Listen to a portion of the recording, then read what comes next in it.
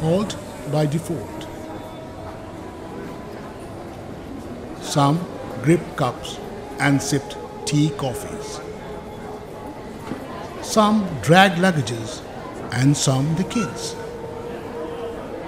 Some chewed snacks and some tubed the cans. A few clutched the books and a many over phones. Some amidst the enquiries and some with grievances. Some demanded labor while some buzzed for wages. Some scaled upstairs while some stepped down. Some faces freaking while some peppy in town. Some reported in masses and some alone. Many with wrappers and escorts with none. Some captured the seats while a many shuffled. A lot crowned the caps while a rare heads bowed.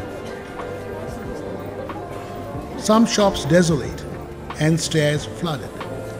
Some brewed at the sink and the loose equal. At times the gapers ran by ignoring the stares, and a few watched others busy with the chores. Rollers coiled the track and the siren cried out. Some hurried to board while remains awaited the route. All distinct yet connected with location. A sad synopsis of Indian railway station.